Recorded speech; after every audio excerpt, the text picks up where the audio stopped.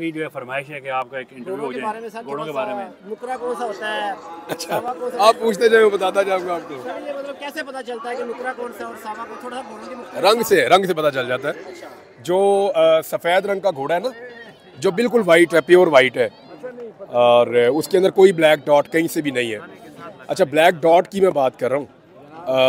Black छापे की बात नहीं कर रहा मैं। तो वो उसको कहते हैं नुकरा। नुकरा भी दो तरह का होता है। एक बिल्कुल चांदी नुकरा होता है बिल्कुल ही वाइट होता है प्योर चांदी की तरह। और एक होता है जिसके ऊपर छापे होते हैं थोड़े थोड़े से। उसको वो छापेदार नुकरा नॉर्मली लोग कहते हैं। वो वाइट घोड़ा है। ये बड़ा खूबसूरत होता है आपने कई देखे होंगे। एक भाई मैंने लिया अभी थोड़ी देर पहले। सभी भाई अभी बड़े प्यार से लेके आए भैया अच्छा मैं चले थैंक यू थैंक यू तो इसके बाद जो है वो एक वाइट और होता है जिसको सावा वाइट कहते हैं। सावा होता है घोड़ा। वो ग्रे कलर का घोड़ा होता है। इसके कान इसकी दुम इसके बाल ब्लैकिश से होते हैं ग्रे इसके ऊपर बाद बाद धारियाँ होती हैं बाद नहीं होती हैं वो घोड़ा आ भी रहा है। बार बार यहाँ से घोड़े आते हैं वो वाले ना उसको सावा कहते हैं। फिर एक जो ब्राउन घोड़ा जो नॉर्मली आप बहुत ज़्यादा देखते हैं उसको कुमैद कहते हैं। उसमें दो रंग होते हैं एक डार्क कुमैद होता है एक लाइट होता है। फिर एक चेस्टनट घोड़ा होता है जिसको हम पाकिस्तान की ज़ुबान में कहते हैं कक्का कक्का। चेस्टनट होता है। वो आप उसको ऑरेंज से मिलता जुलता आप समझ लें चेस्टनट कलर का घोड़ा होता है। और वो बड़ा तगड़ा घोड़ा होता है ये नॉर्मली चेस्टनट घोड़े अच्छे होते हैं। और एक मुश्का होता है जी वो काला घोड़ा होता है। इसमें अलग अलग है कुछ ज़्यादा काला होता है डार्क थोड़ा सा कम होता है। उसको मुश्का कहते हैं यहाँ पे। तो एक नुकरा हो गया कुमैद हो गया और सावा हो गया और इस तरह ये सारे रंगों के नाम हैं हाँ, एक होता है वो एक एक घोड़े को कहते हैं जो मेरा घोड़ा यहाँ पे आएगा। उसे कहते हैं गरड़ा। क्या गरड़ा। वो पिंक सा कलर होता है उसका घोड़े का। ये रंग की वजह से कहते हैं हाँ? उसका रंग गरड़ा है। वो पिंकिश टाइप का अभी आएगा तो आप देख लीजिएगा। तो इनमें फिर आगे शेड्स भी हैं बहुत सारे। एक घोड़े को पंच कल्याण कहते हैं। उसके चार पाँव वाइट होते हैं और माथे पे वाइट कलर की एक लकीर होती है। तो ये अच्छा शौक है घोड़ों का। और वैसे भी अल्लाह रब्बुल इज़्ज़त ने घोड़े की पेशानी में खैर रखी हुई है। तो ये जो लोग भी आप देखें बड़े पुरसकून है जो लोग ये गेम खेल रहे हैं। बच्चों को भी ये गेम खेलनी चाहिए और बड़ों को भी खेलनी चाहिए। अगर आप गाँव में रहते हैं ख़ास तौर पे आप किसी गाँव में रहते हैं तो आप ये खेल सकते हैं। ये फिर आपको इतना महँगा नहीं पड़ता। सबको खेल लीजिए समी भाई को समी भाई को तो मैं रिकमेंड कर रहा हूँ कि मैं हज करके आ जाऊँ। तो उसके बाद उसके बाद सभी भाई आएँगे फॉर्म पे और मैं सभी भाई को ट्रेनिंग दूँगा।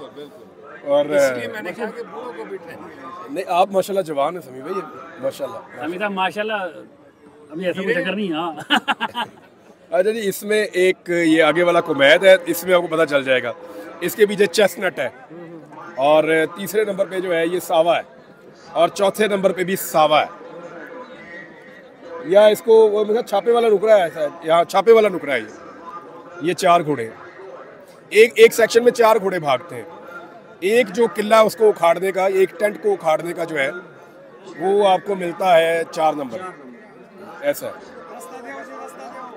तो थारोब्रेड का भी ज़िक्र हुआ था पिछले दिनों गंडापुर साहब ने ज़िक्र किया था वो बड़े घोड़े होते हैं वो लगभग दो तीन सेंचुरियाँ लगी उन घोड़ों को बनाने में। वो अब तेज तरीन घोड़े हैं उनको तैयार किया गया है सारे काम करने के लिए। वो मुख्तलिफ़ घोड़ों की नस्लों को इकट्ठा किया गया। और बड़े लंबे अरसे तक उन पर तजर्बे किए गए तो थारोब्रेड घोड़ा बना। ये हमारे जो कच्चे का इलाका है, जो स्पेशली डेरा इस्माइल खान का है, वहाँ की ये खसूसियत है, वो ठीक कह रहे हैं गंडापुर साहब, उनके इलाके में ये थारो थारोब्रेड घोड़ा जब मैंने लिया था तो वहीं से जाके लिया था। और अभी आज जो घोड़ा भागने वाला है, ये भी आज डी खान से हम लेकर आए थे। तो उनके इलाके के थारोब्रेड वाकई बहुत मशहूर है और बड़े तगड़े घोड़े हैं। वो जिसामत में बहुत ताकतवर होते हैं, अली अमीन गंडापुर जैसे हैवी जिसामत वाले आदमी को भी वो उठा लेते हैं। एक अरबी होता है, एक देसी होता है, इनमें क्या फ़र्क है सर? अरबी दुनिया का सबसे पुराना घोड़ा है। पूरी दुनिया में कोई घोड़ा इतना पुराना नहीं है।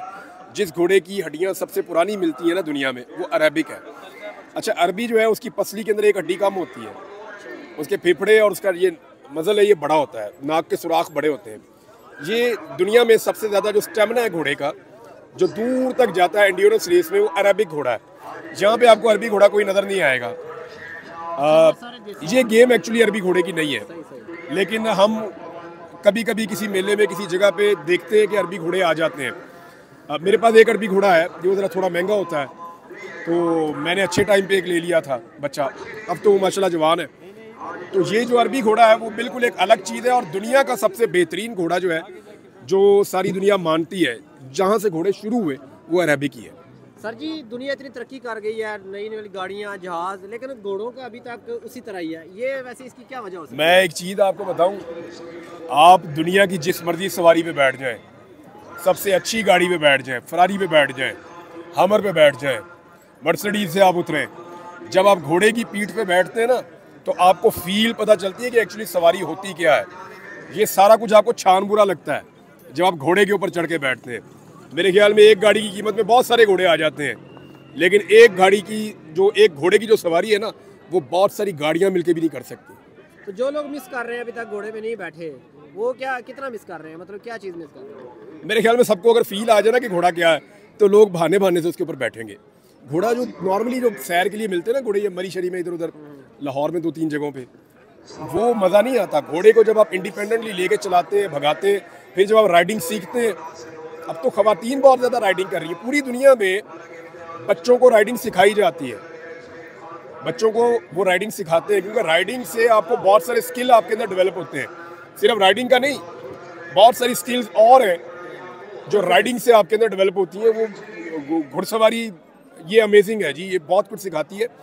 वैसे भी हमारे रिलीजन में भी इसका बहुत बहुत बड़ा किरदार है, बहुत बड़ा हाथ है। कल आपने टेंट उठाया और तुक्का लग गया मेरा। नहीं नहीं बड़ा कल यहाँ पे रश कम था आज रश ज़्यादा है क्योंकि कल माहौल बहुत ज़्यादा बना नहीं कल भी बहुत लोग थे आज हम ऊपर बैठे हुए तो हमें ज़्यादा लग रहे हैं। इमरान भाई की वीडियो ना बड़ी वायरल हुई है तो उसको देख के भी बड़े लोग आए यहाँ पे। कल नहीं नहीं बड़ी माशाल्लाह बड़ा अच्छा। क्योंकि लोगों को कल घोड़ा किसी का था वो एक दोस्त मिले मुझे यहाँ पे जापान से आए हुए थे। उन्होंने कहा जी मेरा घोड़ा है हुस्न जापान। उन्होंने अपने घोड़े पे मुझे बैठा दिया। घोड़ा किसी का था नेजा किसी का था किला किसी का था पगड़ी किसी की थी। तो लोगों का सामान पहन के हमने कल यहाँ पे एक पहले लोगों ने ट्राई अपनी की वीडियोस थी देखी थी सिर्फ़ वैसे ही राइडिंग करते हैं उन्होंने वैसे शो कर रहे हैं। लेकिन ये जो किला उठाने वाली बात है ये तो बड़ी टेक्निक चाहिए होती है मुझे वो जरार भाई जो अभी यहाँ बैठे हुए थे थोड़ी देर पहले अभी मेरा घोड़ा वही चलाएँगे। आज वो मैंने उनसे रिक्वेस्ट की थी कि आप मेरा वाला घोड़ा भगाएँ। तो वो ले आए हैं वहाँ से चकवाल से घोड़ा और आज जरार भाई भगाएँगे। उन्होंने मुझे ये थोड़ी बहुत टिप्स बताई थी। कि आपको ये ये करना चाहिए। मैंने कल फॉलो किया तो वो हो गया। पहले मैंने थोड़ी सी प्रैक्टिस भी की हुई है।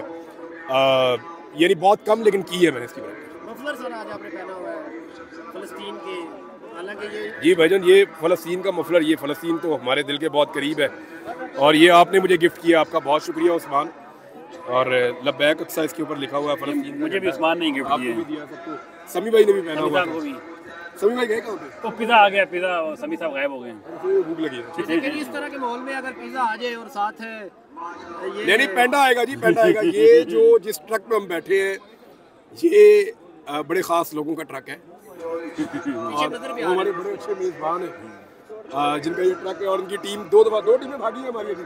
हमारी दो एक चौदह और एक सोलह। एक के पूरे नंबर है एक में थोड़ा सा जो है वो दो नंबर उसमें मिले हैं। किला गिर गया है लेकिन मिस नहीं हुआ। आप सर कहाँ से हैं?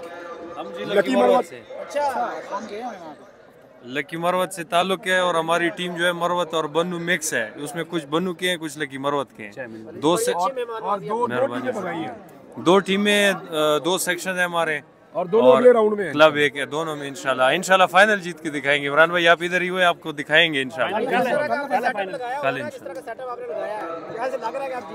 शौकीन लोग जो होते हैं ना वो फिर इसी तरह करते हैं। आपने सवाल बड़ा ज़बरदस्त किया था कि दुनिया बहुत तरक्की कर गई है घोड़े उधर ही हैं।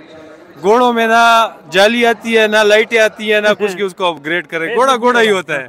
वो वो शुरू से लेकर एंड तक जो होता है ना वो घोड़े दुम और शक्ल और उसकी वही होती है। यार आप मेरे से सीनियर राइडर हैं। मुझे यानी मैं इनको एक बात कह रहा था कि आप दुनिया की जिस मर्ज़ी गाड़ी में से उतर जाएँ बिल्कुल बिल्कुल। आप घोड़े पे चढ़ेंगे तो आपको लगेगा कि आप कचरे में से उतरे हैं। हम जब भी हम कारोबारी लोग हैं जब भी कोई थोड़ी सी टेंशन वगैरह होती है ना तो जाते हैं अपने फार्म पे घोड़े के ऊपर बैठते हैं। जैसे ही घोड़े के ऊपर बैठते हैं ना दुनिया जहान की चीज़ें भूल कर बस वो एक जो सोफा सीट है वो कहीं पे नहीं है।